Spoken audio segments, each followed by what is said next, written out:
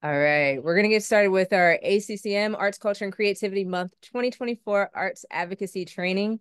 We have our great team has put together uh, these slides, and we have a lot that we're going to go over today and prepare you all for ACCM 2024 and our advocacy, uh, not only Advocacy Day, but advocacy training throughout the entire month. Um, we can go to our next slide. And again, feel free to put your information in the chat. All right, this is just our agenda here.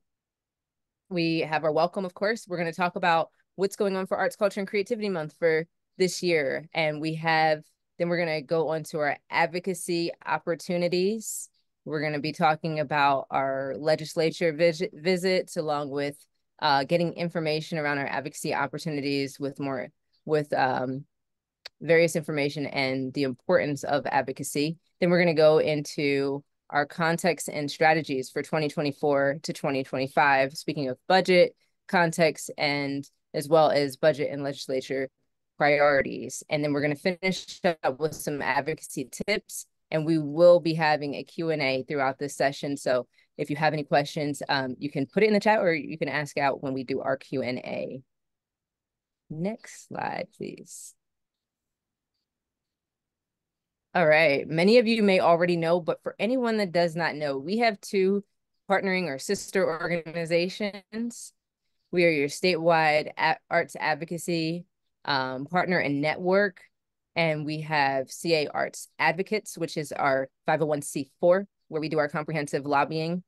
Um, and here you see a bold in, in bold where it says influence equitable and just systems for change, systems change through public policy, and public investment. And then we have our CA for the Arts, where we champion arts and culture as essential to a vibrant California. CA for the Arts is our 501c3 organization where we really focus on statewide programming, um, services, and advocacy networks. And you also see our contact information. If anyone needs to contact us specifically around advocacy, um, or if you have questions for CA for the Arts, you can always contact our CEO, who is on this call, Julie Baker, as well as our Director of Field Engagement, Tracy Hudak, who's also on this call, and she and both will be speaking a little bit later. So thank you. Uh, you can go to the next slide, please. All right, I love this GIF here. It's Arts, Culture, and Creativity Month, and our theme for this month is Artwork is Real Work. We have our summit coming up, which we will share more information about, um, but our focus will be Artwork is Real Work and again, these slides will be shared out for tools that you can also share on your social media. And this is a great one to share. All right, you can go to the next slide. So as we talked about various things that are happening in April, which we are really excited about, and this does not include some of our other events, but these are two of our events that we've been working around the clock to make sure are really meaningful, really impactful for our community, for the whole of the arts ecosystem throughout California. We have our California Arts and Culture Summit, which we will talk about a little bit later in some of our slides, talking about some of the panels and things that we can expect at the summit. I hope that you all are registered. If you're not, we still do have tickets available if you're interested in joining us at the Sofia in Sacramento on April 16th. It's going to be a full day from 9 a.m. to 5 p.m. And then we're going to have a small reception after uh, where we can hang out, network, and mix and mingle and get to know each other. Along with that, we have our rally coming up, and or excuse me, our Arts Advocacy Day, and the rally is at 9 a.m. the next morning. It's going to be at Capitol Park in Sacramento. Our Arts Advocacy Day is where we go and speak with policymakers, and we're going to share. We'll share more about that uh, a little bit later in our discussion today, and that's going to be on April 17th in a row that we're going to be making impactful change in the arts and uh, convening. And you can go to the next slide. Also, um, in the chat, you're going to see links and more information. Thank you to our entire team for sharing um, the information that you'll see in the chat just to follow along. Here is a little reel that we want to share with you, just a little recap from last year and some excitement as we go into this upcoming summit.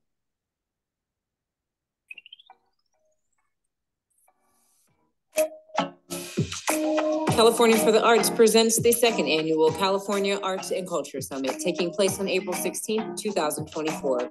This year, our theme is Artwork is Real Work. We are diving deep into exploring how the arts, integrated across various sectors and industries, can be a catalyst for creative solutions. The California Arts and Culture Summit is proudly hosted by California for the Arts, your statewide arts advocacy organization. Don't miss out on this opportunity to be a part of a movement shaping the future of California through the lens of creativity and innovation.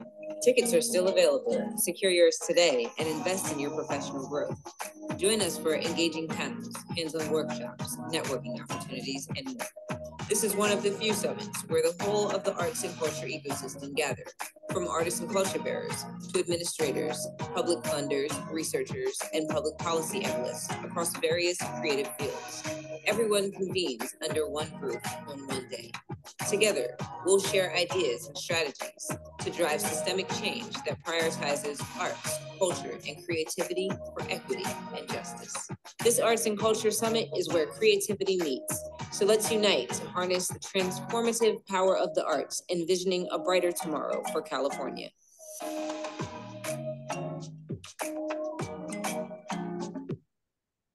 Thank you. Thank you for showing that video. And if you're interested in sharing that video out, uh, we have this available. Well, it's on our Instagram page and our, all of our social media. So you can feel free to share that uh, as it's a reel on Instagram. If you go to at CA for the arts and you'll see that there, please feel free to share that out. Also, uh, I believe in the chat, there were some, uh, some links shared with our toolkits. And really quickly, I'm just going to go through our summit panels and workshop topics in the reel you see there's one screen that or one image that breaks down some of the names and the people that will be leading these panel and panel discussions and workshops uh, but i just want to give a, a, a, little bit more background with this. Um, our we we are we have arts and health which we're going to be focusing on arts on prescription.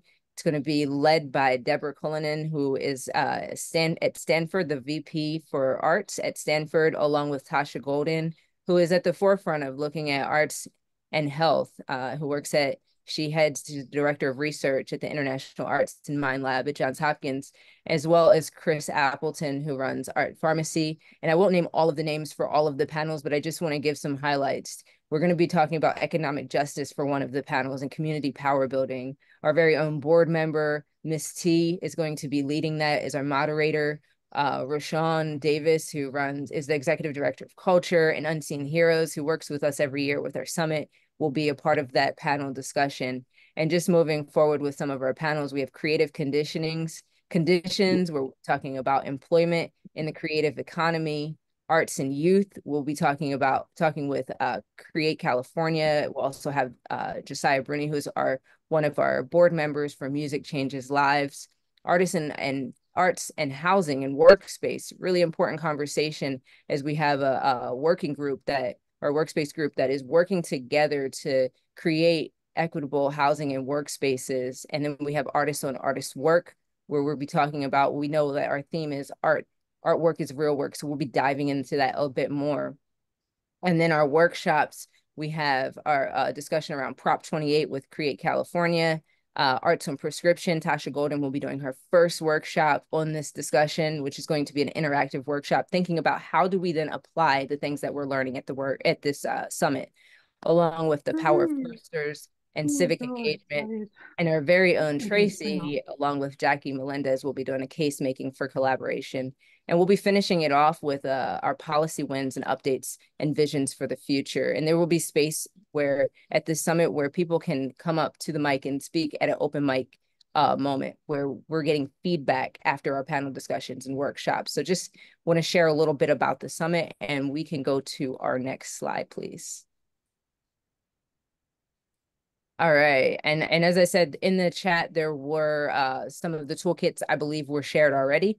But this information is for everyone. It's access for everyone to be able to share out, to share on your platforms, at your um, workspaces within your community. And these are templates that are toolkits for op-eds, for ACCM press relief, uh, release. If you see our backgrounds, thank you to our comms team. They created these great backgrounds. They're accessible for each of you to use if you'd like to use them for, for your Zoom meetings throughout the month of April. And then we have our social media toolkit. We're going to talk a little bit more about our proclamation guide, but we have proclamations that, or excuse me, I'm sorry, a correction. We're not going to go into the proclamations, but there's also a proclamation toolkit that you can utilize if you would like to get a proclamation within your city or your community. And you can go to the next slide, please.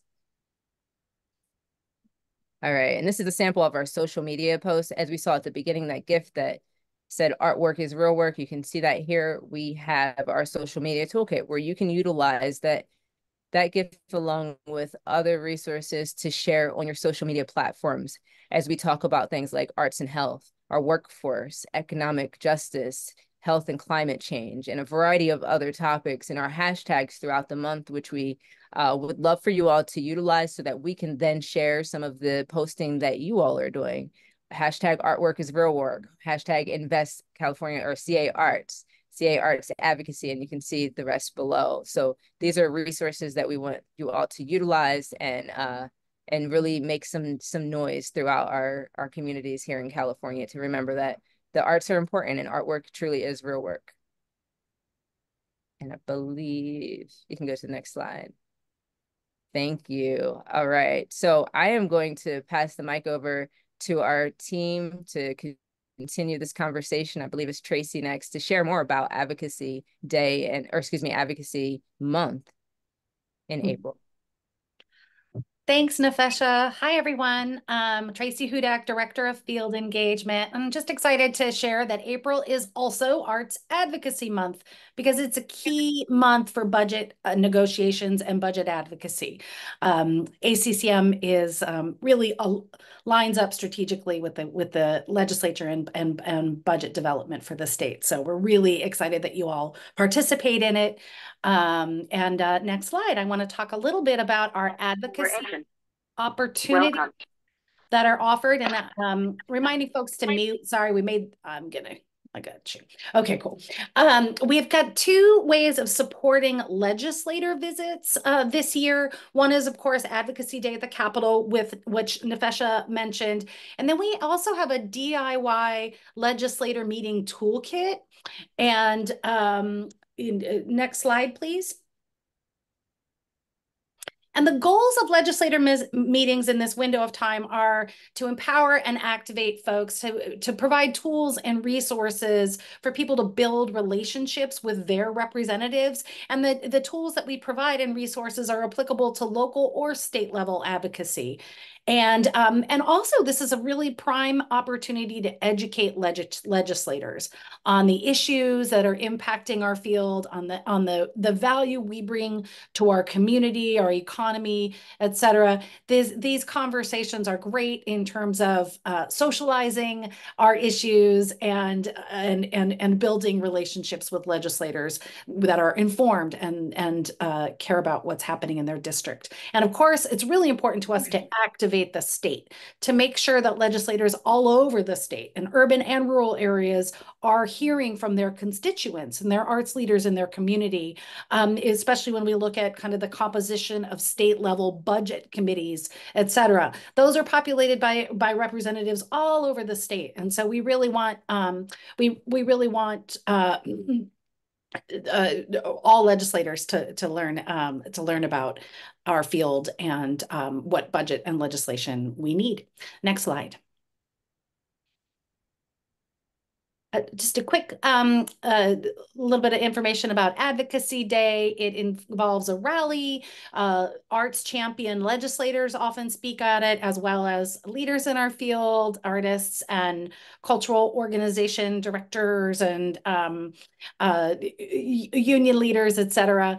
And then we parade. We generally have a, a, a creative um, visual and sonic parade. And then we break up into groups and, and sit in and, and sit down with legislators and their staff and, and have these meetings. And California for the Arts and California Arts Advocates, we handle all of the scheduling. We compile all the information about legislation and budget budget items and provide a talking points doc that you, is kind of like a menu in terms of things that you might want to say that are meaningful to you with um, tools and resources for also bringing your personal insights into the conversation and trainings. Next slide. And for the DIY toolkit, uh, we offer uh, the tools you need to take to do the scheduling, the contact information at legislator offices, cut and paste, schedule a meeting request, email copy, um, really plug and play, get, get yourself set up with meetings. And then um, for both toolkits, uh, for both, we offer the guide to effective to successful advocacy, which is just kind of a, a, a great primer and resource around, around conducting effective meetings and building meaningful and positive relationships. And of course, uh, additional training resources. Next slide, please. And these um, DIY meetings, you can schedule them in person in district, or you can do them on Zoom at your convenience. And, uh, and this is just a snapshot of page one from the toolkit and kind of break down resources for each step of setting up and conducting, conducting and following up on your meetings. Next slide. And in terms of um, ongoing support, uh, for support for participating in either advocacy day or setting up your own meetings, we have the training from today. And again, this will be recorded and shared out. And then we're also offering drop-in office hours Fridays at lunchtime. If you've got any questions um, about uh, just even where to begin or deeper dive into strategy, it's kind of a peer-to-peer -peer learning opportunity to come together and and um, and uh, learn from each other as well as get questions answered. And then at the summit, we'll be offering um, a, a, lunch during lunch, a breakout, a, a, a, lunch room specifically devoted to talking about Advocacy Day with um, with Abe Flores, with myself, Abe Flores uh, at with Create California, and Ricky Abeles from Arts for LA, and we'll just kind of get ourselves ready and excited and answer any questions there on the day the, the day before Advocacy Day. Next slide. Great. And um, yeah, and anybody have any questions about uh, all things ACCM or the legislator visits? If you do raise hands, since we're kind of in a share screen situation. And or also, just, or just shout out because yeah, shout out. in the share screen situation. Yeah, yeah, yeah. Yeah, any questions? I just um, wanted to flag for you all, we're still trying to expand our scholarship pool to to the summit. And um, to that to that effect, we've created an artist and arts workers scholarship fund form. If folks want to um, maybe have someone that might support their professional development, if their if their work won't isn't able to um, cover the cost of the summit, we're uh, or you know someone who might want to help others get to the summit and expand our scholarship pool. We were only able to offer scholarships so far to less than half of the folks that wanted to come. So we're really working to try to to um, raise more money for the summit to make sure folks can come. And great um, amy and then jennifer? Uh, thanks so much tracy. And great work on all this everybody. Um I just wanted to find out if you've chosen legislator to get folks together. I'm sorry, Amy, you were breaking up a little bit. Can you ask that oh, again? Sorry. Um, I was just wondering if you had chosen all the leaders for legislation day, legislator day, and uh, where I find that information. Oh, great, great. I'm going to ask Martha Dempson and Jenica Bisbee to raise use the raise hand feature so I can introduce the, the, the rest of the team who's helping organize these. So we're still recruiting captains, folks, and captains essentially are folks that help lead and coordinate the meeting, um, uh, connect with the group ahead of time and, and cover talking points and who can speak most clearly and passionately to what. So we're still organizing that and, and recruiting. And um, if you're interested, Amy, I'll make sure we follow up after.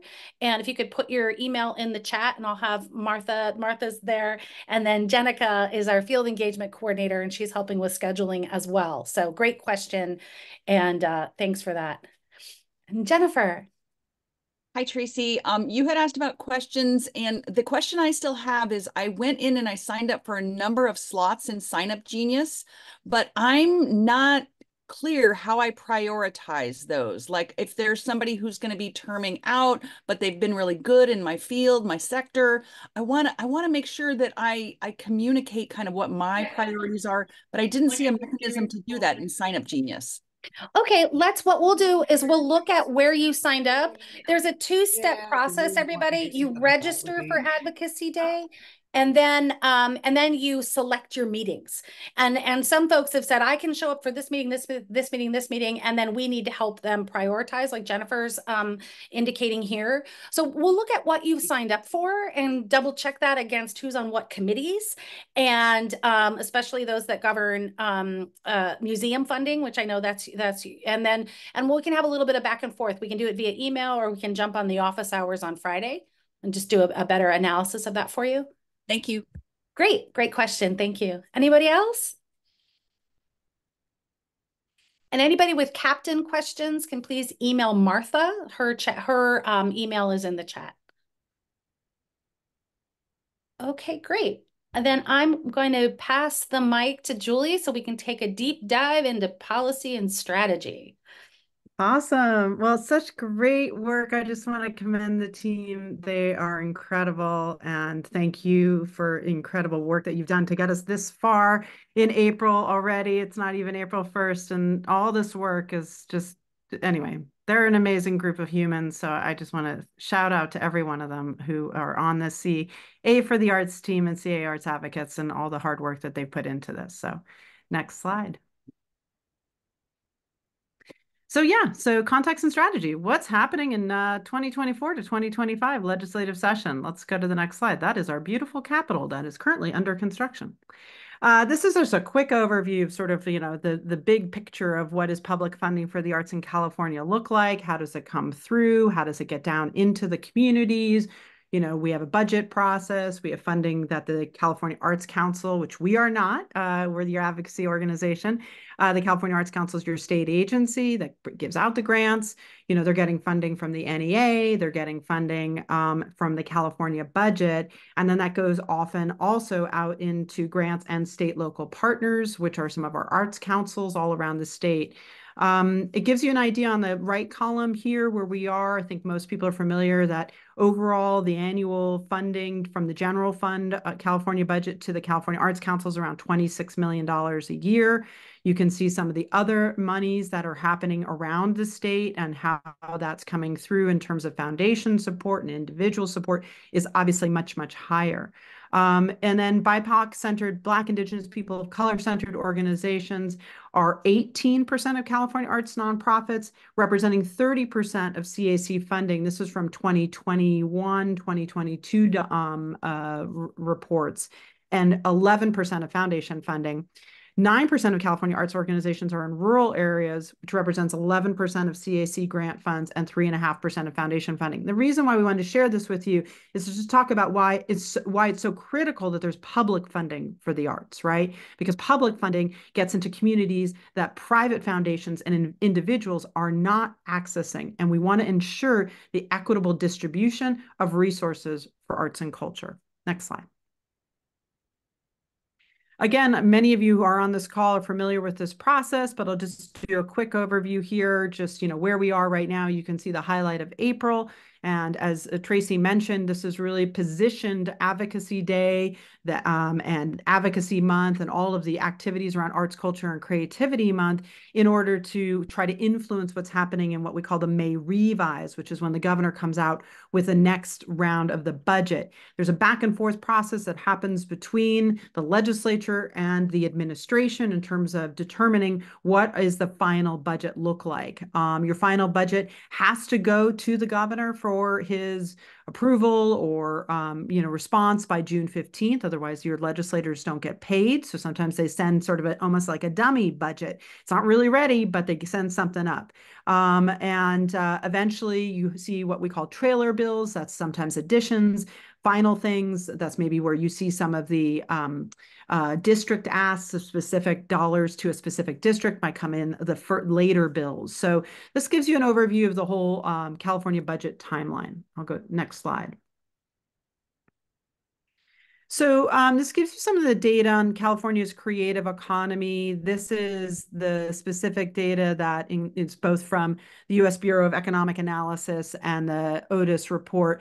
The new data, Tracy, Wright, is not. This is not yet in in this slide. I don't think for just came out yesterday, so I'm not sure we got we were able to slide that in from BEA. I uh, actually um, meant to delete this slide. It's in the next slide. Okay, let's go to the next slide. Uh, let's go to the next slide.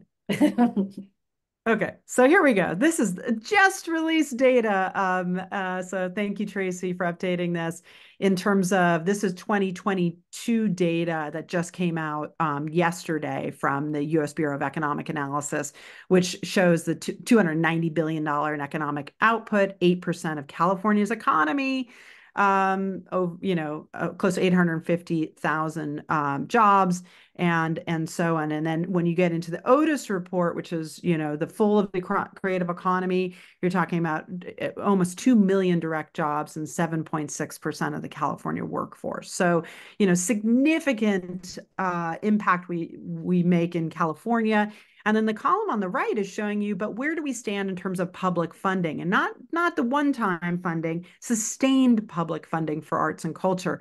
And what you're seeing there is that we're really not ranking too well uh, still. You know, we're 36th in national ranking compared to other states like New York and Minnesota, Mississippi, and Florida. Some of you have heard me talk about Florida um, and where we stand in relationship to that. So we have a long way to go uh, to really ensure that we are um, receiving the, the, amount of public funding that matches the economic and social and emotional and all the different impacts that we make. We have a long way to go to get to where we need to. And that's part of our advocacy work. This is one of the primary things that we focus on is ensuring that there is increased public funding uh, because any of you who have ever applied know how competitive it is. They're only able to fund about, I think, 48% of grants in this last cycle. So, you know, we see that uh, we need, we really need to increase this. Next slide. Um, and then, uh, you know, Martha Dempson, um, who's on our team, but also runs TIPSCA, uh, folks from Arts for LA, Actors Equity, um, hired and uh, and uh, California for the Arts hired Civil Economics, who for many years did the Otis report to really do a study specific to the performing arts. And this is just some good data points that if you are in the performing arts, we certainly recommend you download the report. Um, and it's, you know, in 2021, so we don't, it's, it's a little bit older, but now years go by quickly, don't they? But, you know, and what's an important data point that we've used that really gets particularly legislators paying attention or people who are in uh, thinking about workforce and thinking about jobs and stimulating economy and stimulating community is that for every 100 performing arts jobs in 2021, an additional 156 jobs were supported in other sectors through downstream impacts. I'm sure you all know what I'm talking about. We're talking about the restaurants, we're talking about hotel employees, we're talking about the dry cleaners who clean the costumes for the performing arts uh, events, you know, all of those sorts of things. So really, uh, you know, if you're going to find one data point right now from that slide, I think that's a good one in terms of advocating for the impact and importance of uh, ensuring that these the, the uh, performing arts remains vital and able to uh, thrive in, in our state. Next slide. So um, our own organization, uh, you know, we we're trying to do our own research, um, and thank you to everyone who um, who responded to our survey.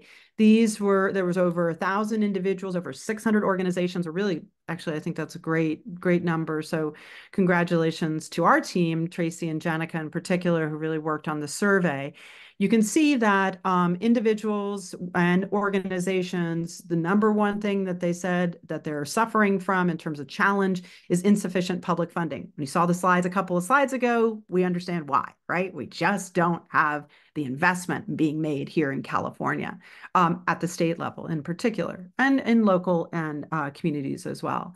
Um, for individuals, it was interesting uh, that they're saying that challenges in engaging or increasing patrons, collectors, or customers, right? So I think, you know, if you're an individual creative artist, maybe you're having a hard time getting them to purchase your goods. Um, on the organizational side, rising the costs due to inflation um, have just increased. Uh, we know this from putting on our own summit uh, year over year, how much things have increased. And so we have to then increase the ticket price and so on. So really, you know, what what does this mean into in terms of accessibility and um, and, and to our for our sector? One of the things that we also see consistently uh, is lack of access to affordable housing for individuals and uh, for organizations, uh, existing grant opportunities not applicable to what we need or do. So that's really an important thing for like the CAC to hear or for others to really unpack. What does that mean in terms of you're putting out grants and people are like, I don't see myself in that. I'm not going to apply. What does that mean? Um, and how can we how can we look at that differently? And then lack of support systems for the self-employed, unemployment, healthcare, you know, sort of wraparound services, childcare. These are often things that are um, consistent with other workforces that we're seeing for our the creative workforce. And then again, on the organizational side, increasing um, engagement for uh, their their customer base. Next slide. So the top four policy priorities that we've seen then coming out of our survey is really no big surprise, but increasing funding to artists and cultural organizations through the CAC as one mechanism. Then diversify and increase sources of state funding for the arts through cross-sector initiatives. So that might be like we're going to talk about an arts and parks initiative or funding that's going through the Office of Small Business, or maybe there's public health funding or there's workforce development or there's um, keeping you know kids engaged and not uh, and preventing them for from doing drugs those are ways that we're also seeing or you know stress uh, post-traumatic stress disorder and using vets vets and the arts. These are other ways that we can increase funding for the arts that are not traditionally through our state arts agency. Number three in the top four uh, policy priorities that came out of our survey is increase access to affordable housing and or workspaces. Again massive thing that we're hearing across the state uh, consistently in every community rural suburban urban and and then these so, social safety net programs for the self-employed. You know do we look at in joining others in fights for universal health care as an example? Because this is something that without that we don't have a safety net. If somebody gets sick and the primary way that they do their work it doesn't allow them to have um, you know access to good health care. So these are some of the things we want to um, lift up in the work that we're doing uh, next slide um, so let me give you an overview of just sort of where we are this year. You know, for those of you who've been following along uh, over the, this is our sixth annual Arts, Culture, and Creativity Month. Obviously, you know, we we've gone through a lot of different cycles in that in these six years. Um, obviously, in, including uh, a lot of influx of funding from federal funds in particular due to COVID, right? So we had a lot of massive like ARPA, American Rescue Plan, and other things that brought in a lot of money into states and local communities that many of you um, were able to advocate for on a local level, and we were able to access on the state level to ensure that there was increased, at least one-time funding for arts and culture. But now what we're looking at is a potential deficit of anywhere between $73 billion, $35 billion. The numbers are constantly changing based on tax rolls, right? So, um, but what we know right now in terms of what the governor's budget was introduced, some of the things that the Senate has put forward in terms of their shrink the shortfall Senate priorities, there's some negotiation already happening between the Assembly and the Senate and the governor around, you know, making sure that we still have rainy day funds, that we're able to shrink what they call the shortfall in terms of balancing the budget. Um, there were 2,100 bills introduced this year. That's about down 500 from the prior year. Those of you who might be coming in from other states, that sounds like a lot. Uh, it is a lot. It's a lot for us as a small advocacy organization to try and track and see which ones are impacting uh, uh, negatively or positively our, uh, the people that we're working for and with um, in terms of the creative workforce. Uh, there has been absolute mandate on no new spending. Um, we're we're also likely not even potentially seeing you know district asks and things like that. And then leadership changes. We have uh, new leaders in both um, houses. So both the Assembly, which is Assembly Member Robert Rivas, and now um, at, in the Senate, the new pro tem is Mike McGuire. So any of those names are familiar to you. You have relationships with those folks. Those are people now in um, uh, leadership positions. So, you know, our strategy, thinking about this for 24, 25, we'll update the slide, um, is in terms of budget advocacy, is making sure that for example, if the May revise comes out and there's some things that they are going to start talking about any budget cuts for state agencies, that this CAC, the one that we're you know always looking out for, in addition to all the other ones that we're trying to increase funding specifically to arts and culture, does not get a cut. Right, right now it's protected. We want to make sure it does not get cut because honestly, we're we're pre-cut levels. Right, we should be way higher than 26 million. And then we also need at the same time out of the same corner of our mouth say why we need to also in, increase that investment. Even in down years. Now even though we don't have a legislator making an increased budget ask this year it was uh, near impossible to make that happen this year and we mm-hmm. certainly, you know, the governor has not introduced any increases because they're desperately trying to balance the budget. We also know that the impact of what we're doing can solve a lot of civic issues, right? Can solve a lot of problems and can lead to really good jobs. So we want to make sure that we are talking about how important this is to continue to invest and to increase the investment. We'll talk a little bit about the related bills that we're keeping an eye on. And then, you know, around messaging, and there's more about this too, you know, we are what we like to uh, phrase it as, as an underutilized uh, workforce. We're going to go move away from this idea that we're undervalued, even though we know we are. It's just that it makes us seem like, you know, we're just there to say we need money. When really what we're saying is we're part of the solution. We are here to aid in solving problems right and and we know that this workforce that has been long looked at as maybe non-essential should now be seen as essential because artwork is real work and put to work so that we can really have our healthier communities and then really i think the key is because we're going to look at this in a second is that we've had a lot of one-time investments well let's not throw those out let's sustain them. These are good investments. And in the category of this overall um, amount of money that California, um, you know, uses in a budget, a $60 million investment, for example, in the creative corps, which we'll talk about shortly, is a really smart and good investment. So we want to make sure that these things sustain and not go one time um, and and continue. So we've we used this last year. We're going to use it again. Protect cultural funding, invest in creative workers, build our creative future. Next slide. So I'm um, just going to now go into sort of specifics around some of our policy priorities this year. Go to the next slide. So um, this is just gives you an overall framework uh, of what we, you know, generally this is our baseline sort of what we're always looking for in terms of um, what we uh, in our public in our policy committee here at California Arts Advocates, which is made up of board members and staff um, and our, our lobbyists. We have fabulous lobbyists, I should mention, Jason Schmelzer. Schmelzer. I always have a hard time saying that for some reason. And uh, Priscilla Quiroz from um, our lobbying firm in Sacramento who guide us and, and support us in this work. But this gives you an idea overall, equity, investment, sustainability. I'm not going to read through each one of these, but this gives you an idea of sort of how we frame the work that we're doing on an annual basis as we're thinking about the future and what we want to in, in, in, in terms of um, building out uh, public policies, what we're always looking for. Next slide.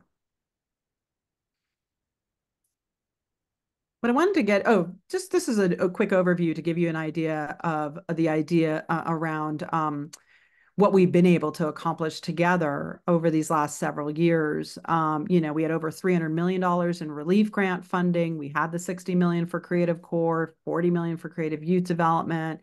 We had, in the end, 10 million for cultural districts. We had 25 million for arts in the parks. We saw the historic Prop 28 passage. Um, we, you know, our, our colleagues here on the call, Abe Flores and others from um, uh, um, Create California taking that lead, which is going to be up to, you know, approximately a billion dollars to arts education annually. Massive, massive. These are huge, huge accomplishments that everyone here who's been engaged in arts advocacy over the last several years should really take credit for. Um, and uh, and and then in this last year, as things started to shift in terms of the California budget, we were still able to both keep the funding at uh, 26 million for the CAC, introduce an idea for a creative economy strategic plan and working group for a million dollars, and see SB 1116 implementation with funding for $11.5 million, thanks to incredible grassroots advocates, Actors Equity, our organization, and then the leadership of Senator Portantino. as well as the administration. Next slide. Um, so here are our policy priorities for this year. Now you're going to see that this year we're not introducing a budget ask. Uh, we can't introduce budget ask. I should say we didn't get a legislator to introduce a budget ask um, because of the climate. You know, you have to read the room. You have to be, um, you know, you have to make sure that you're uh, doing this in a way that you don't get laughed out of the room in many ways. And so, you know, that's an important long game, right? It doesn't mean we don't put pressure, but it's a long game, as we all know, marathon, not a sprint. Um, we also are not introducing or again, I shouldn't say that word. We're not sponsoring any legislation this year, uh, although likely we will start supporting um, or asking for amendments to certain key pieces of legislation that we're starting to see. Um, but we will be socializing the increase to the CAC, seeing the funding for uh, equitable payroll fund um, implemented. We want to talk about, you know, sustained investments, as we talked about in those three programs. We also were uh, should have uh, been aside from uh, the increases in all the budget and stuff last in these last several years, um, or the one-time funding and all this sort of stuff. We were really excited last year when the governor signed a bill that um, Assemblymember Tasha Boerner introduced, AB 812, um, and we have a fabulous um, artist housing workspace um, working group that is assembled now through our organization that is working on toolkits and implementation for that. Um, and so these are some of the things that, you know, you'll see us continue to talk about. I'm going to get into a little bit more um, depth on some of these, but ones I probably won't get into talking too much about yet this year or this this today is around um, arts on prescription. We are actively working to build a policy brief on how we could introduce that here in California. Um, so we're putting an investment of our own into that work. Um, and then we're also looking at how do we do a pilot around guaranteed basic income for artists at again at the state level. That's that's really our lane. So uh, I'll go to the next slide. Um, why are we, you know, how do we socialize this conversation around needing more funding for um, the uh, CAC, our state state arts agency? Um, you know, this gives you this graph. Again, those of you who've been with us for several years have seen this graph because sadly, except for those one time, it hasn't really changed. It has not changed. The baseline funding, which is your local assistance grants, which is why you see, you know, the council and the staff trying to figure out how to distribute such a small amount of money has not changed in six years. Uh, so it's time. Um, and even though we've had, you know, these significant one times, you can see these, you know, arrows going up. If you look, if you look at the left side there in 2003, we were actually at 30.7 million in local assistance grants. So if anything, that's what we say we're in pre-cut, right? Like we've already gone down and this is not adjusting for inflation, right? So everybody's expenses have gone up.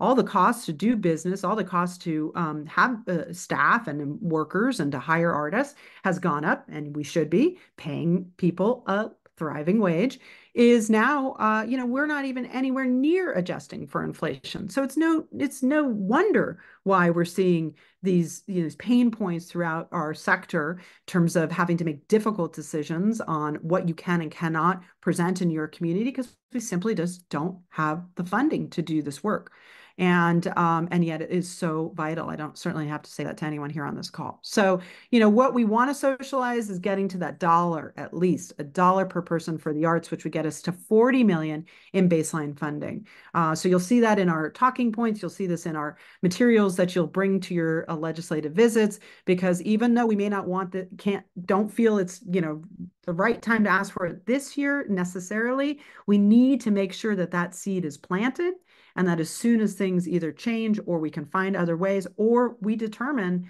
that all of us collectively say no matter what even with a deficit this is so critical because we cannot lose our creative edge here in california. We need to fight for this together. So these are some of the things that um, these are some of the evidence that show you know what's going on. Next slide. Oh what, actually before you go oops sorry.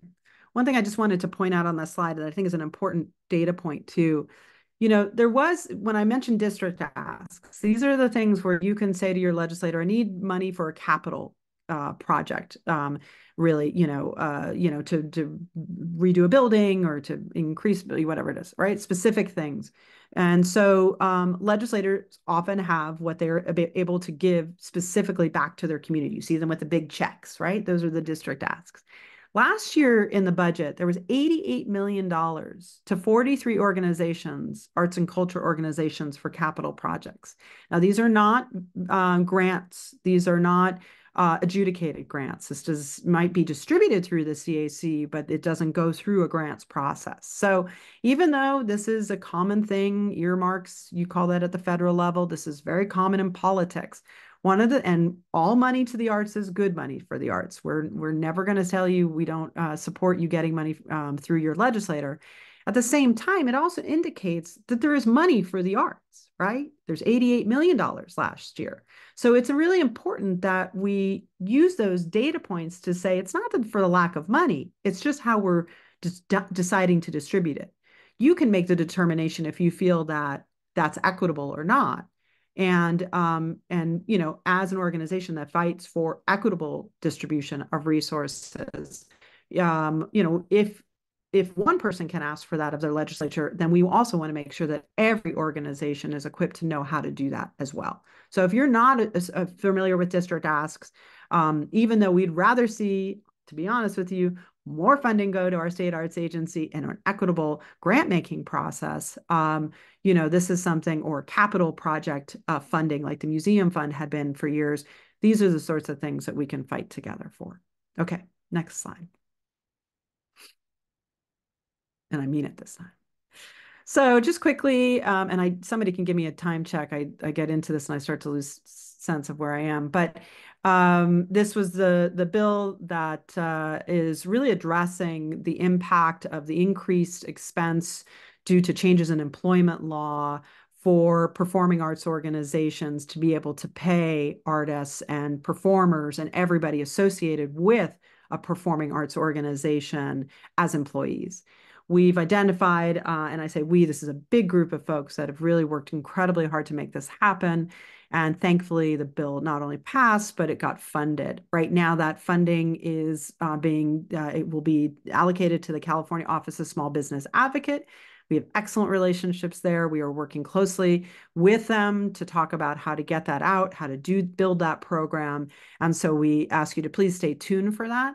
One of the things, of course, we want to ensure is that not only is the funding that Senator Portantino and advocates fought hard to get in last year still maintains and is still safe in the budget, but also that we see this not just as a one time, but this again, sustained investment. These one time things are not going to move the needle. This is not going to change uh, our, our sector to be sustainable. We need sustained funding. Next slide.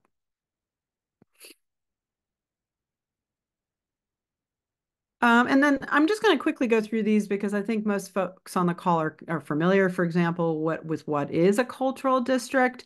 And now there's a linkage now with cultural districts to AB 812, um, which is, um, you know, the, the temper, up to 10% of affordable housing in city, county, and state cultural districts to be reserved for artists, which is a huge victory in terms of establishing that from a messaging standpoint implementing that and seeing that through and seeing what other regulations and things that we need to do is a lot of what we're doing at the artist housing working group. But you know right now there's 14 cultural districts that were state designated through the cac um, that funding at one point was 30 million introduced by the governor when things started to look a little tighter in the budget, it got shrunk to 10 million. And uh, so that, that 10 million has been distributed. So right now the cultural districts program is somewhat dormant in terms of new, there is no new funding. There is some funding at the CAC that was allocated from that 10 million to be able to um, open up for new districts, but they wouldn't then have funding. They would just be able to apply and and and and create the designation. So uh, we're tracking that with the California Arts Council, with our state arts agency, to see you know when that will be reintroduced. But at the end of the day, again, this is an un what we call an unfunded mandate. This was a legislative mandate. They asked us.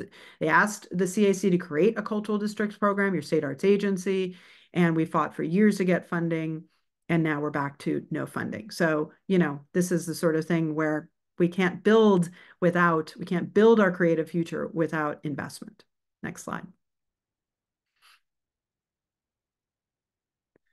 Next slide is um, the California Creative Corps. This is a program I, I mean, my, this is my personal belief. I think this is a really great program for the state of California. I think it's a very important uh, jobs program. I think it really highlights how artists and cultural bearers and arts organizations can be utilized in service to civic issues for public good.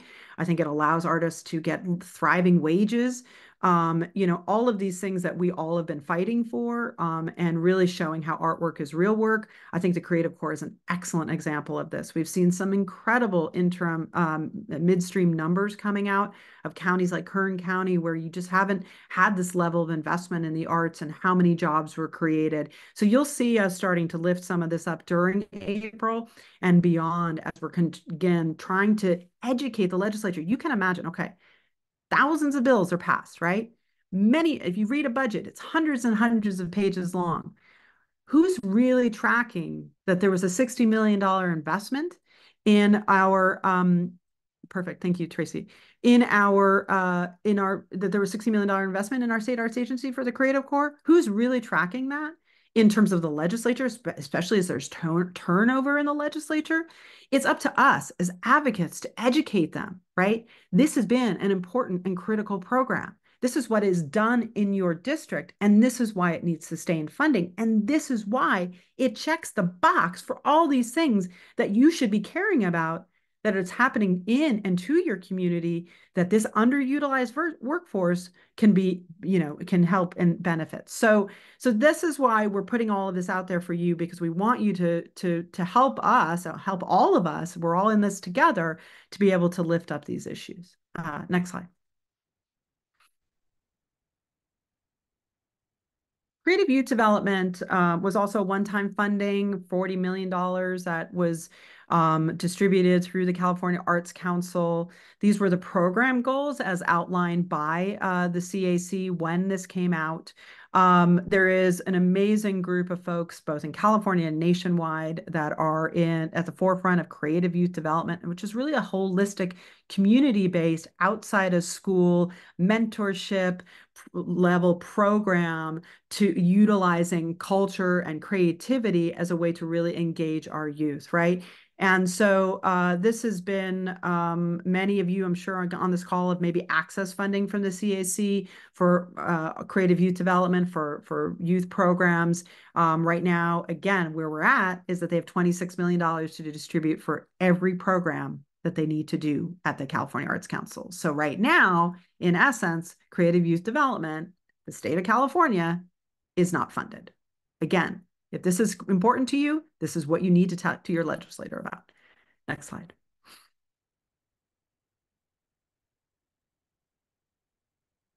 Um, I am going to take a pause, have a sip of my Spindrift, and hand it to our um, colleague Abe Flores from Create California. And he's going to go over arts education specific uh, policy priorities for the year that we are supporting. Thanks, Julie. Um, as you all know, Prop 28 is definitely top of mind, um, and we're working on a couple of talking points uh, to raise awareness of some of the implementation challenges of Prop 28. They're not reflected in this document, but we're working on them. We'll, we'll give them to you. But just so you all know, one of our biggest concerns around Prop 28 implementation is um, that it doesn't do anything new that the funds are used to replace existing funding and that arts education is not expanded in school districts as intended by the prop, as intended by um, the voters who passed it.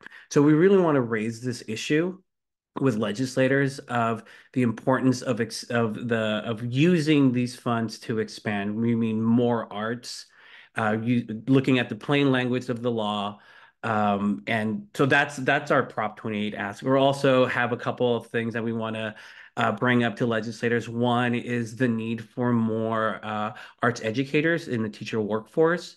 Uh, and we're asking the CDE. The legislator doesn't doesn't have authority over this, but uh, we want to raise it specifically to the Ed Committee folks so when they're talking to the CDE. Is designated designating uh, visual and performing arts teachers as a shortage area once it's designated a shortage area, teaching candidates have access to particular grants, uh, particular programs such as residency programs that are currently uh, VAPA teachers are uh, teaching candidates are not uh, don't have access to. And the other thing around Prop 28 is around data. Uh, currently, we do not have uh, good ongoing data on what programs are available at elementary schools. schools are school districts are not required to collect elementary data. And so we have a challenge of how how do we measure the impact of Prop 28 if, if that data is not being collected ongoing. There is a reporting requirement for Prop 28 that requires the reporting of Prop 28 funds, but we don't have we're not going to have data for all arts education programming. So that's going to that makes it challenging for us to have an understanding of the impact. Um, and then just quickly on these particular bills, so that's Prop 28. Um, the the on these particular bills, one is uh, a bill that would put a bond measure for um, uh, education facilities uh, in the fall ballot. Uh, we are advocating to add and include art education facilities in that legislation. As many as you know, if it's not named, then folks are going to be like, I'm not sure if we could use it. Then we have to advocate. Like, we're not asking for a carve out. We just want to make sure that folks know that arts ed facilities are important, especially with Prop 28 funding coming online. And that money can only be used for staff, materials, and, con- and um, nonprofit uh, arts organizations. We need facility monies. We need to ensure that our students are not learning dance on black tops and have adequate facilities. And so our ask here is we're supporting this bill, but we want to make sure that, that uh, arts education facilities are named. The other bill is adding media arts to EdCode. Right now, EdCode um, um, uh, requires uh, school districts to offer visual and performing arts, which is currently defined as dance, music, theater, and visual arts. We want to make sure that media arts is added uh, in EdCode. And lastly is uh, data. We, we want better data on teacher retention, teacher preparation programs, and that will allow us to track what are the available credential programs for VAPA teachers, identify any gaps, advocate for for new pro uh, for new uh, preparation programs. So that is our data ask. Um, that's my quick in, quick in, uh, quick summary. Julie, back to you. Awesome. Thanks so much, Abe. So nice to see you. Great work at CREATE California. And uh, they'll be joining us, of course, at the summit this year, doing a, um, a workshop on Prop 28 and, and advocacy, as well as uh, be joining us at Advocacy Day. So we're excited to have you guys with us. Uh, next slide. I think I'm almost there. So I don't have a comprehensive list of the bills that we are currently tracking, and I apologize for that. Um, but you know, it's there are a, I think something like 30 plus AI bills. There are several ticketing bills. One was just introduced yesterday, I think it was, or two days ago by Buffy Wicks that um, we definitely are flagging and, and see some concerns what we look for in these is really, you know, what is the impact for the individual arts worker and in particular also for nonprofits. And I'll say that because um, it's not to say that we aren't looking at the for-profit, but there are other organ uh, other lobbyists who often, I think there was someone from the Recording Academy here, for example, you know, like who are looking at it from, or from NIVA, from independent venues. So often we'll be the voice in the mix that will talk about are you considering how it might be different for a nonprofit in terms of ticketing? Um, or are, is the artist's voice even being heard in these kind of conversations? After all, they are the worker in these cases, right? So um, I just wanted, there are a number of those. We'll be, um, I have a meeting tomorrow actually with our lobbyists that we're going to be going over uh, the ones that we are tracking out of the 2,100 bills uh, that have been introduced this year. Um, there is a, a public um, art bill that has been introduced by Kevin McCarty from Sacramento, which is a 1% for art and public capital projects.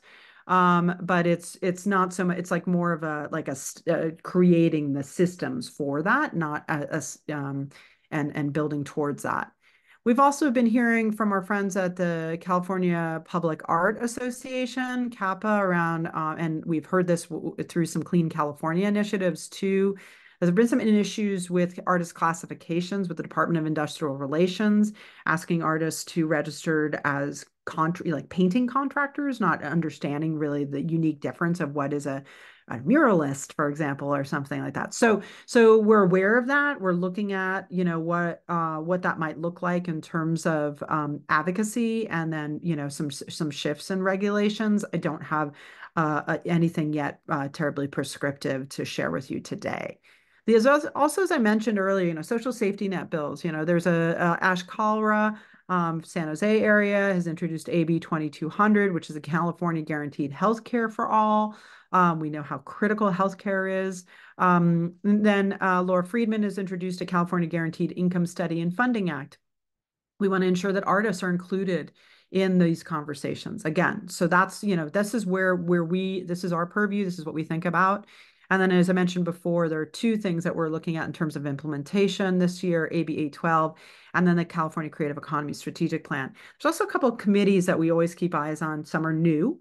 One of them is from Assemblymember Matt Haney out of San Francisco, who has a downtown recovery committee that he is chairing. And obviously, we know how critical arts are to downtown recoveries. We want to ensure that maybe with these empty buildings, or you know, what is it that we can, in, in terms of regulations, po public policies, et cetera, to ensure that um, arts artists, arts organizations, cultural organizations, cultural bearers can can occupy these spaces in a way that we can thrive and um, sustain, not to fill them in the interim uh, and then get kicked out, but actually be sustained there. Uh, also, what's interesting, uh, the former speaker, Anthony Rendon, um, has started, maybe seen some press on this, has created a happiness committee. Um, obviously, we're all going to say that the arts absolutely can lead to joy, right? Uh, I think I've uh, we've all experienced it. So we want to ensure that if they're talking about happiness, arts are at the table. He's a longtime supporter. And then Joint Committee on the Arts and the Assembly Arts Committee are always ones that we're keeping an eye on um, and uh, certainly uh, prioritizing in terms of who we'll meet with on Advocacy Day. Uh, next slide. I think I'm almost done. Um, AB 812 is the bill I mentioned, housing policy. So, you know, implementation strategies are local. This is sort of, you know, often what happens at the state level, just like Prop 28 and things like that where it becomes a local issue on, in terms of implementation. We want to give you the tools to be able to advocate for this in your community. And uh, we have this amazing, and I think some of them are on the call today. If you're on the call, raise your hand, who are in our artist housing working group. We've had the pleasure to just convene uh, and really um, are, are trying to, you know, again, lift this up into toolkits and into uh, additional public policies to address this very, very critical issue. Um, and as you saw, one of our top policy priorities. Uh, next slide. And some of you might be on this. I've been um, appointed to the Creative Economy Strategic Plan uh, Working Group, which is at the state level. This was something we introduced as an idea. Thankfully, Assemblymember Wendy Carrillo, who was chair of Budget Committee last, last year, liked the idea, as well as the uh, Speaker Emeritus I always say that right. Anyway, um, former speaker Anthony Rendon. Also, um, he he was a big champion for this, and this was a million dollars in the budget to create a uh, strategic plan. So really thinking less from the hip uh, but more from what does it the future look like for a creative worker in the state of California, and how can California build public policies and resources to support that workforce? The Institute for the Future won the bid for the um, uh, assembling the wor working group and uh, building the strategic plan, and we'll keep you all apprised of what's happening there as this um, develops. But with something we were excited to see happen last year in the budget and now to be a part of as part of the task force. We have several board members on it as well. Next slide. I think I'm at the end. Oh, nope. Uh, sorry, uh, not sorry. Sorry, not sorry. Uh, California Nonprofit Performing Arts Paymaster Program is something um, was also lobbied for by advocates, including California Arts Advocates. And this is really a mission-driven nonprofit paymaster to uh, support payroll compliance and lower insurance and unemployment coverage costs for uh, small nonprofits under $2 million. Martha Dempson on our team um, is our uh, paymaster expert. Uh, we work with Austin Creative Alliance to implement that. And um, we would love to get more folks in into the paymaster. So contact Martha with your um, needs and, and she will be happy to support. Next slide. And then I think this is it. Uh, just a, a, quick flag on this, the Arts in California Parks. This is a current program in case you're, you know, maybe a lot of people go to the CAC. They have grants reopening on March 28th, for example. But there's also Arts in the Parks, which was funded with $25 million. So we encourage you to go to that website, artsincaliforniaparks.org. Um, make sure you get the notices from them as things open up. Um, and this is really to ensure that there are um, art installations and art performances um, and use it, you, you know, through a cultural lens for more participation in our, in our parks. Uh, so we just wanted to flag that and um, make sure everyone's aware of it. Next slide. Okay, now I'm done. All right, so uh, here we are. I think it's just now time anyone has questions, ideas, comments, uh, things that we didn't discuss that you want to make sure that you're we're talking about as well. And maybe I don't know if we stop the slideshow or yeah, if anyone else has, we can see you. Hi everybody. Nice to see folks. Lovely to see you. Thanks for joining. Marciela, did you want to, did I see your hand up or you were waving hello?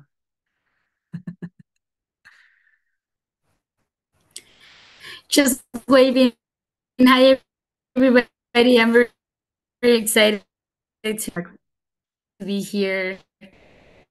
Thank I'm you. a mariachi trumpet player. I have my own mariachi here in LA, and I have in my my Las Mariachis. In 2020, I paid two two thousand dollars out of my pocket, but um, these people ripped me up and they didn't register the, the, the, you know the foundation. So that's why i'm here to learn from the bottom and see what i could do you know to to keep helping my community in a way to impact mental health in teenagers since my my teenagers were impacted by the 2020 pandemic and it was very bad at home. So i could just imagine other people that don't have the um uh, you know how to reach to the arts it, it was hard for me that they know about the arts and I was able to pass it down to my daughters. Uh, you know, I could just imagine other people. So um, I'm I'm on it. I'm excited to be here every month and see if we could make some ne network. Thank you so much. Thank you. Thanks for joining us and speaking up. Really appreciate hearing from you. Anybody else have comments, questions, ideas, strategies, things they want to add to the conversation. If not, we'll probably transition, I think, now into sort of more of an advocacy 101 training for those who are a little bit newer to this. If you're if you've been doing this, some of you I see have been here for a while, been doing this, you may you may say, I'm good, I don't need to be on here, but maybe there's some questions. Uh, Kristen, hi. And then we'll get to Jacqueline. Thank you. Sorry, I couldn't figure out how to get my virtual hand raised. um, I just wanted to um, bring up that, uh, you know, in regards to the Prop 28 funding, um, that, you know, Mono County, we're, you know, relatively small county. We have two districts here. We have the Eastern Sierra Unified School District and the Mammoth Lake School District. And our Eastern Sierra Unified School District only received about $52,000 total for the entire district that covers two high schools and four elementary schools. And um, that's just something I wanted to raise awareness to when we talk about Prop 28 funding. Um, also, you know, in terms of the California Arts Council, I know that a lot of their decision making in regards to the arts education grants that they um, brought back was in direct relation to Prop 28 funding. And in our case, it really, really um, had a negative impact on uh, what we can provide here for arts education. Thanks, Kristen, for lifting that up. And um, I think that's really important points, particularly from rural communities to hear. So thank you for sharing that. Uh, I think Jacqueline Diaz had her hand up and maybe she decided to Yeah, no, I just put it hand. I saw okay. that you saw it, so I just put it down. Okay, great. Hi. Um, I guess I just wanted to expand a little bit on what I put into the into the chat, but I'm just curious if there's anybody that has um if there's any information or anybody thinking if there's like a work group happening for the for the prop um, funding that would sort of like address um, diversity and equity um, in terms of the programming that gets pulled in because that's um, as someone who provides that kind of programming for schools already um, definitely it's a, a, challenge. And um, there's definitely when if it gets to that level where it's at the school site level or um, particular administer levels um, you know there's there's definitely things that i have to navigate in terms of um, who will hire me or not um, and so I'm just curious if there's someone kind of thinking about that so that all of the fun the funding opportunities don't um, you know end up really favoring specific kinds of art and kinds of artists um, that read read I guess as this is you know this is what we think of as art um, because it's so subjective right For sure. And uh, Jacqueline, I, I, would certainly point you to Create California, to their Art Now communities, also within um, certain uh, areas. I'm sure Abe and I see Allison is here from Friends of Sacramento Arts and others who are in this work more deeply in terms of specifically inside of the schools can um, put their um, their contact information in the chat um, to support on that. But I think we, absolutely hear what you're saying and have seen this, um, you know, in terms of what who gets who are the who are the gatekeepers who gets in and who doesn't um, and uh, that's something i think we're all interested in really fundamentally changing in terms of uh, arts and culture uh, and distribution of resources. So um, thank you for lifting that up. Um, judy.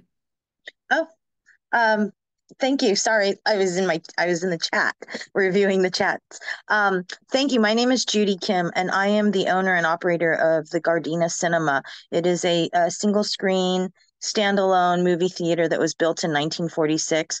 My family has operated it since 1976, and um, I've recently established a nonprofit organization called the Friends of Gardena Cinema because we're in transition of basically going from a for profit um, institution to a nonprofit institution. And so um, I've been looking at the things that I can do to sort of uh, uh, promote artists in my community and um, and also get funding because uh, the only way that I can transition for uh, to from for profit to nonprofit is that I have to buy my dad out of his um, ownership share of the of the property. It's a very large property. It's like, you know, um, it's almost an acre. So you know, I have thirty thousand square feet of um, uh, parking and then you know the building has a seating capacity of 800 and so there's it's it's a very large venue but um and it's hard to fill. And um sometimes i'm just lucky to have 20 people in there.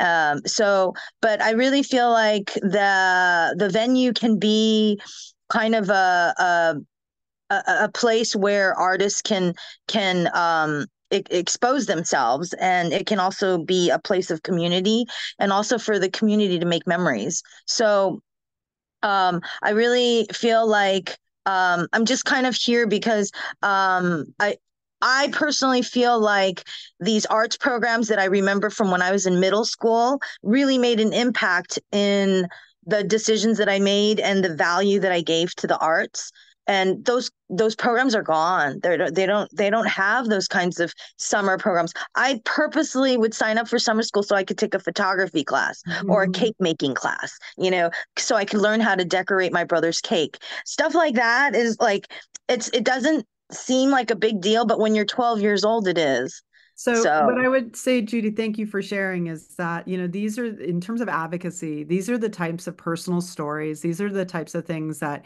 we encourage you to speak with your elected officials show them what you do for the community why what you do and the impact you bring is so critical and we have certainly the data to support that and uh, many, many studies that talk about why we need community gathering spaces, why we need culturally specific community gathering spaces, why we need youth uh, engaged in arts and culture. So much data that can support, and then the personal stories. And so, thank you for sharing that. And I'm going to switch it now back to Tracy for those who want to get into the advocacy specifics of learning how to be um, effective arts advocates. And so is that, am I right in the transition there, Tracy? Thank you everyone for lifted up some stuff in the chat and for bringing, um, speaking up here today. And, you know, we're always available. So please reach out to us again. Thank you. LT, if you could fire up the slides. now, we have about 10 more minutes left in this meeting, but I want to remind everybody that if you are looking for um, insights, uh, strategies, uh, you know, feel like you're a beginner and you need more time, please drop in in the office hours for advocating, getting ready, um, and feeling um, supported and excited to advocate during April. And we will offer a more in-depth advocacy training through the years. So um, Terry recently put uh, in the chat um, Jenica's email to get the link for the office hours if you feel like you need, um, you want to go a little bit more in depth than the time we're going to have here. Next slide. So, just a quick distinction between lobbying and advocacy. Lobbying is an activity that is in, intended to influence a specific piece of legislation or endorse a specific candidate advocacy is broader. It's uh it's more educational. It's educating and influencing opinions and decisions and that could be of a legislative body like a city council uh, it could be the public through a public um, will build, building campaign or a, a, a, an opinion piece in the newspaper etc it's uh, advocacy can be about building relationships with your elected officials being the point person uh, and expert on particular issues for them in their office, providing um, uh, um, research and, and pointing things out to them, et cetera, and analysis and recommendations. And it can also be, like I said, a public information campaign and public will building. Next slide. And we talk about that in terms of grass tops and grassroots, that both are really valuable and that anyone, um, anyone really can be a grass tops lobbyist. You, you are um, a resource to your elected officials in terms of letting them know what's happening in their communities. And then successful advocacy, what we look for is have you built a positive relationship and communication channel with your legislator? Um, are, you, are you educating them, bringing them information on the value and positive impacts and stories and data on, on what you and your colleagues deliver in their communities that they represent? Or you've educated on the issues, the challenges, the policies, regulations, funding issues, things like that. And you've presented them with an action to take. Legislators want to know how to solve problems. Eh, they're um, problem solvers or they care about their communities. So giving them something to do, and that can be as simple as invite them to events or invite them to experience something that you're making happen in the community, all the way to having a recommendation or a request on a specific policy.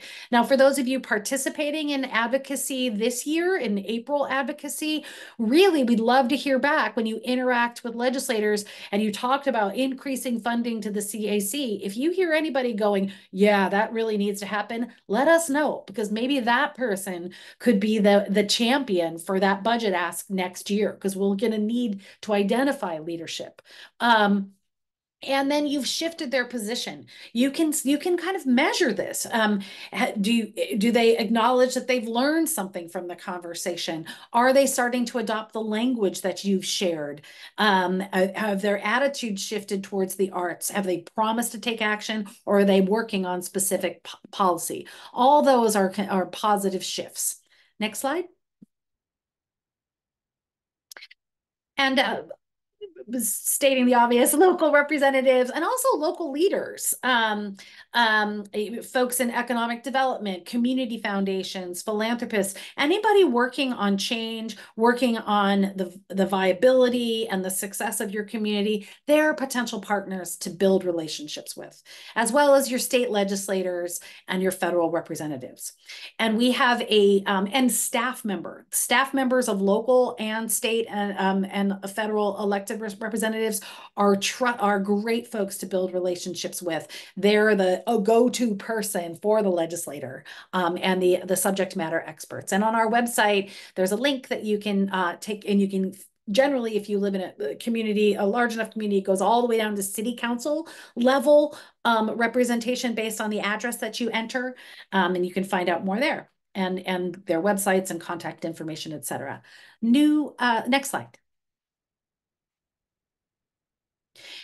And on the state level, we want to know, want um, wanted to flag for you the specific committees that representatives serve on that govern arts funding, whether um, it's the California Arts Council funding on these budget subcommittees, um, arts policy, hearings and funding, the Joint Committee of the Arts and the Assembly Committee, Arts and the Parks Fund and Museum funding is covered by the Senate Budget, Com budget Committee that's working on resource, the, the budget committees that are working on climate change and resources, which is an interesting but a whole different, you know, um, set of leaders and uh, budget appropriations, of course, and arts education uh, committees. And those are links, live links to those committee rosters. And you can find your legislator and see if they serve on one of these committees.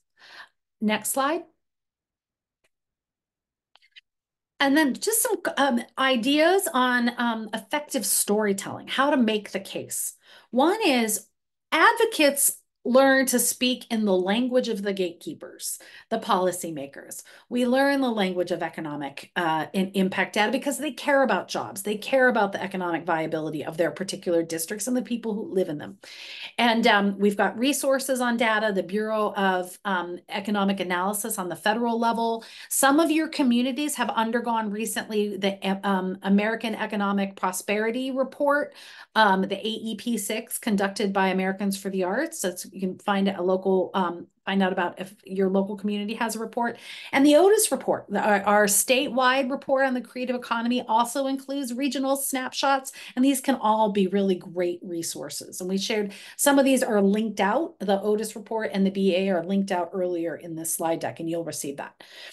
And then, um, or the social, the language of social impact, the change that individuals or groups might be undergoing, or policy outcome language, return on investment. You give this much dollars generates this much impact, or health and wellness outcomes, public safety outcomes, um, uh, uh, language like that.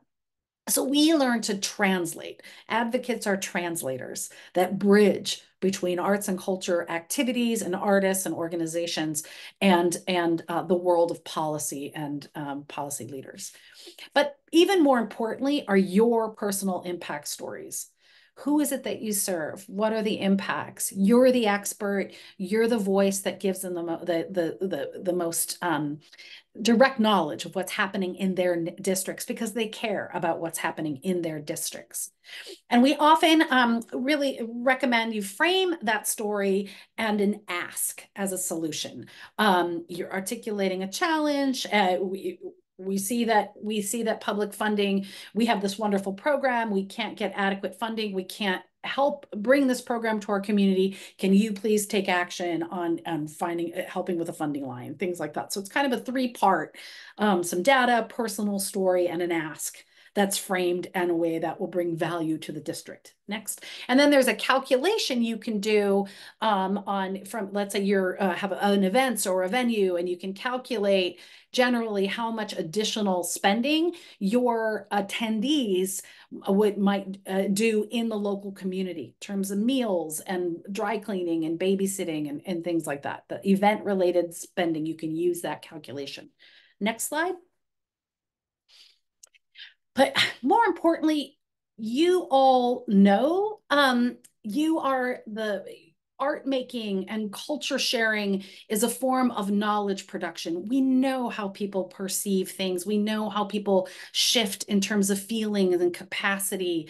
Um, and we we know when we're creating something that gives someone the ability to take action platforms for action. This is a great or um, this is a great resource from americans for the arts. It's a tool for artists to learn how to use and measure use uh, uh, uh articulate the social impact that they're having and measure it. And uh, the the um, resources animating democracy. But i just point this out just to say that that um, that our stories, our personal stories often reflect how folks move through this continuum of change, either personal change or change as a group. Next slide.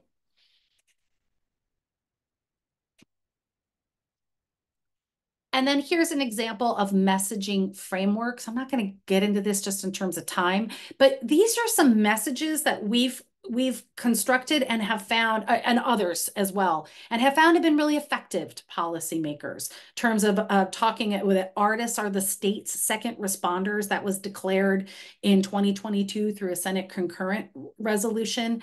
Really, that just that message alone, we are the state's second responders. Uh, we can help with this specific issue in your community. We need funding, resources, uh, partnerships, et cetera. Um, so uh, there's there's all the, a couple different types of framings shared in this slide that I would recommend you review to see if they fit with the story that you could tell your leaders. Next slide. And let's just share um, former uh, Speaker of the Assembly, now called Speaker Emeritus, Anthony Rendon, giving some insights into what um, he thinks arts advocates can bring to legislators. They could play that. Thank you. Oh, thanks advice I would give to uh, arts advocates is the same advice I give uh, to any advocate, but with a slightly different spin. Um, it's a huge state, 40 million people. When I'm in Sacramento, I wake up every day, I'm 400 miles from my home, 400 miles from my district. The best thing you can do as an advocate is to make whatever issue you're talking about seem like a local issue to that legislator if you go to uh, visit Blanca Pacheco, who's from Downey, and say, "Hi, I'm I'm from Downey. This is what we do in your city. This is these are the kids that we have an impact on." If you come to me and say, "I'm from Lynwood. Uh, uh, I'm I'm from South Gate," we re, we recognize that. We recognize that sense of immediacy, that lack of abstraction, how direct it is to people living in our district. I think that's incredibly important for arts funding. I think it's incredibly important in general.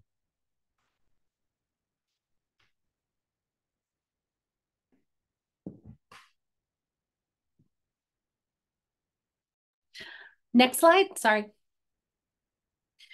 And just a reminder that we are really a member fueled movement. Uh, member uh, support for our organizations keep these programs free and keep us doing the year round lobbying and relationship building work to be effective. And I'm going to um, ask that we close the slide down and open the floor for questions. It's 1.30. I know it's our time. Uh, our time with you is up. But for those that want to stay on and have questions, I'd be happy to stay on a little bit longer since um uh just introduced a, a, a lot of um a lot of things. So does anybody have a comment or question that they want to share? I would just add um, to this uh, former speaker, what he said, another thing that he said in the interview was how important it is to actually, if you can, show up in Sacramento, because these legislators are far from their homes often, right? Big state. And when they have people from their community come to their office in Sacramento, it really signals to them how important this issue is to their district. So I just if you can, come to Advocacy Day on April 17th. Everything that we do uh, for that day is free for you to participate in. This is part of our mission. This is part of our work. So just wanted to share that as well. Right. Anna, I see your hand up. Thank you. Yeah, hi. I'm with Artists Resisting Exploitation, and we fight to future-proof the arts and unite independent artists um, across all disciplines to fight against corporate exploitation and our current focus is on big tech and generative AI. So I had a question, um, listening to Julie, it sounded like you're gonna have more information about the AI bills later. Um, is that true? And then where would we find out about that? Great, great question. And I'd love to learn more about what you are all doing too. So I'll, I'll make sure to put my, or someone um, can add my email in the chat. Um, but uh, yeah, we're going to start unpacking some of these a little bit more. I think Ash Kalra has one. Um, and start looking at them more deeply to see if there's things that we need to make sure that uh, the artist's voice is also included in in the AI um, um, legislation that's out there. Um, and then also at our summit, I'm not sure if you can come on April 16th. We will have someone speaking to some of the things that they've been uh, they've actually done. There was a report done on the impact of AI on the future of the creative workers in games and entertainment, and specifically, and uh, that um, uh, Nicole Hendricks from Brick Foundation will be on a panel talking about uh, you know, sort of what they're seeing and what we're trying to lift up in terms of public policy there collectively again um, in looking at that. So, so the answer is follow along, um, sign up for our, our stuff. Also email me so we can connect. I'd love to learn more about your organization and then um, join us if you can. And if not, you'll see lots of recordings and lots more information. So include our, you know, get on our newsletter and all that sort of stuff. Awesome. Thanks so much. Thank you. Anyone else?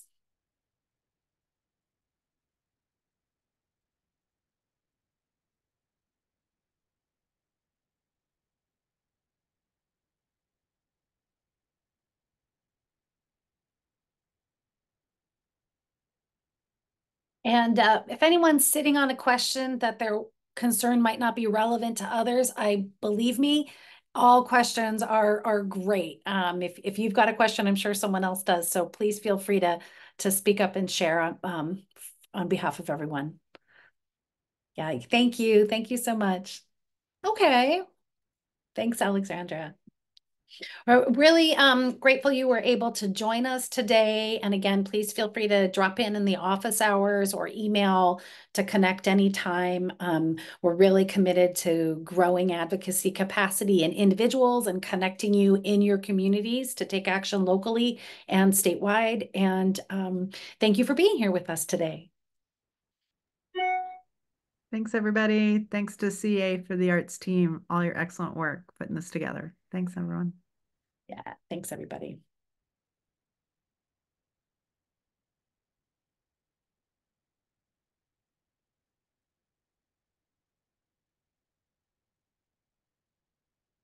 Thanks, LT and Terry and Jenica.